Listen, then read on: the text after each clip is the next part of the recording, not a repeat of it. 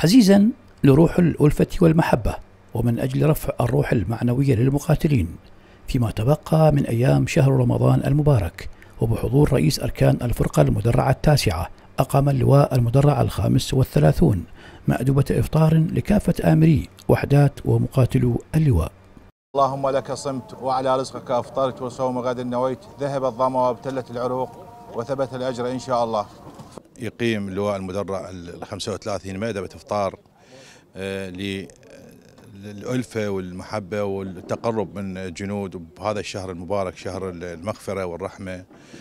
آه، نتقرب للجندي نحل نعرف مشاكله آه، معاناته آه، لكي نوصل إلى مرحلة جيدة وخطوة مثمرة لحل المشاكل من خلال وجودنا مع المنتسبين اللواء في الميادين في ميدان المعركة وفي السلم.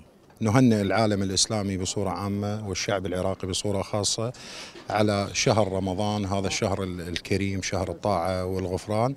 آه، أقام لواء المدرع 35 آه، بالقيام بمأدبة لأفطار آه، كافة منتسبي اللواء مقر اللواء ووحداته. الغاية من عندها لتعزيز الروح المعنوية لإخواننا المقاتلين وتعزيز الثقة فيما بيننا. والحمد لله جرت المأدبة وتبادلنا الأحاديث اللي آه، كانوا الجنود يطرحوها. وهناك روح التآخي بين كل منتسبي اللواء. المقاتلون بدورهم عبروا عن شكرهم وتقديرهم لإقامة هذه المأدبة والإفطار الجماعي ترحما على أرواح شهداء العراق والفرقة المدرعة التاسعة معاهدين ببذل الغالي والنفيس من أجل العراق العظيم.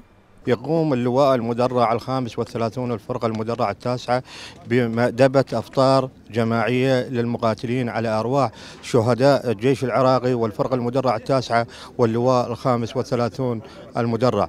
وكما نشكر إعلام وزارة الدفاع بتغطية وتوثيق هذه الفعالية. مبارك للشعب العراقي شهر رمضان الكريم وإن شاء الله الأمان على كل العراقيين إن شاء الله.